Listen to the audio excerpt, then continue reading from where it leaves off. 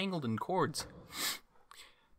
Welcome, everybody, to Camille's Harem, not just a podcast by novice writers for novice writers, but also a YouTube channel by novice writers for novice writers. Today, we are going to be doing a book review, and each month this year, we are going to be passing off the torch to different members of the harem to do book reviews at the end of each month. And this month, being the month of January, is my turn. And I, Nathan, being your fearless leader, will be tackling the book Ash Princess by Laura Sebastian. I feel like the best way to summarize how I feel about Ash Princess is to tell you a little story. While I was trying to figure out what I wanted to do the first book review of 2020 on, I was at work one day uh, and I was talking to a customer about young adult books, YA books in the fantasy genre. Um, and we got onto the subject of Ash Princess and they asked me if I had read that. And I, I should mention, I've read this book maybe three, four months ago at this point.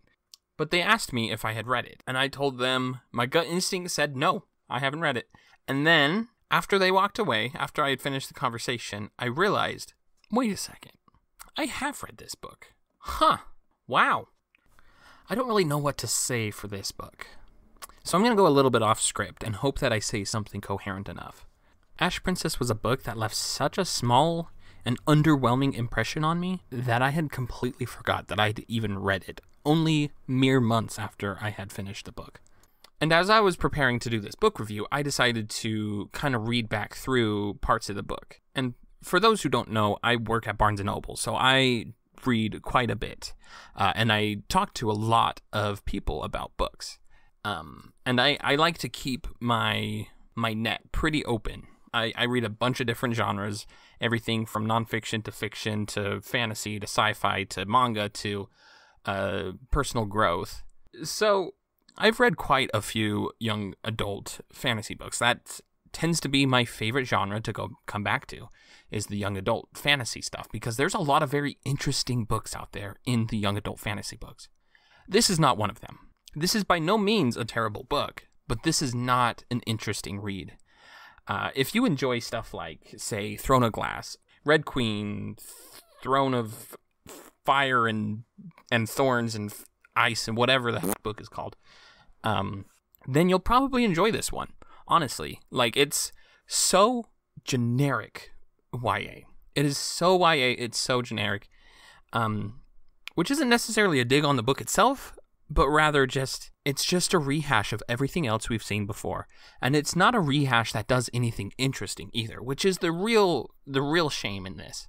Because i feel like i feel like there definitely could have been opportunities to really shine.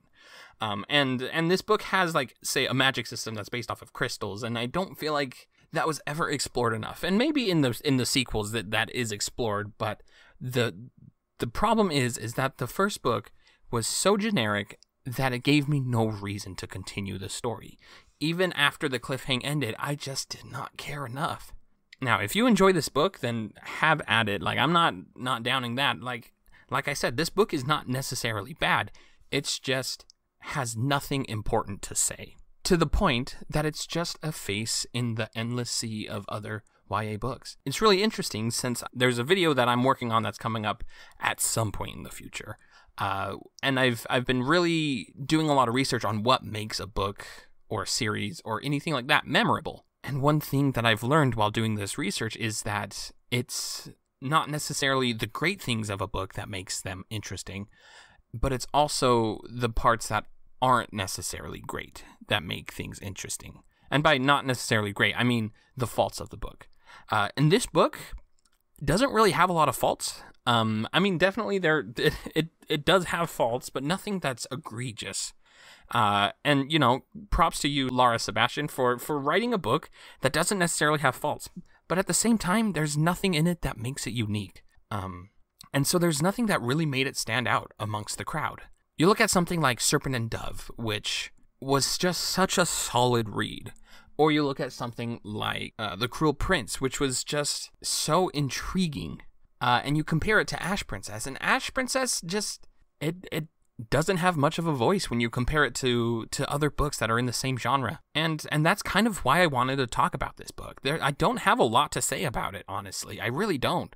Because it's just so average.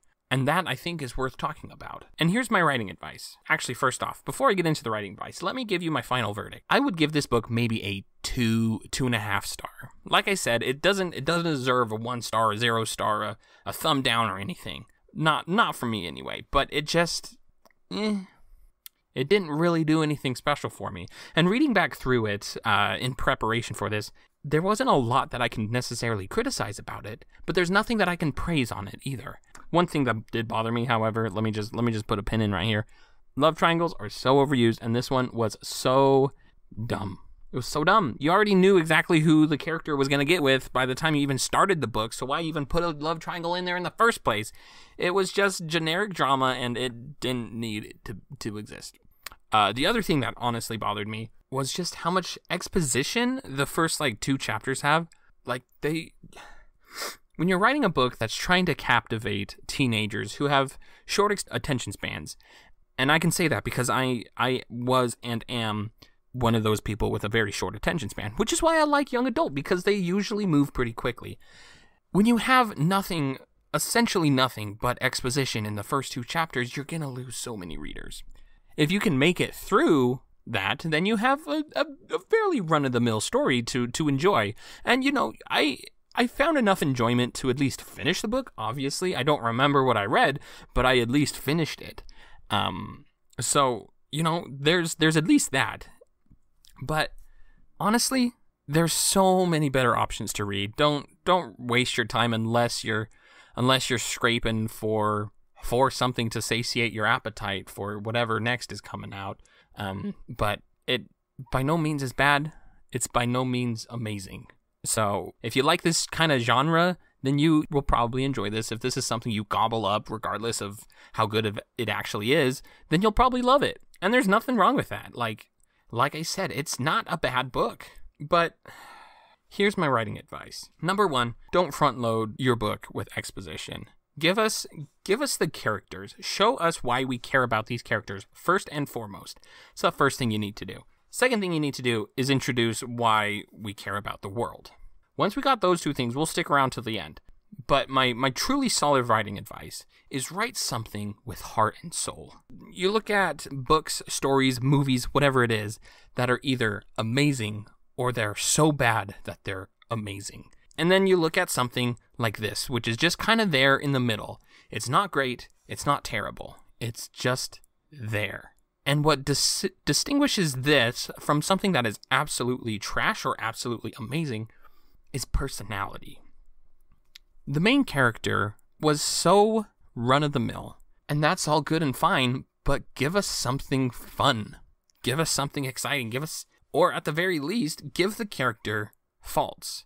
And it, and it's not that this character was faultless, but rather her mistakes never amounted to anything.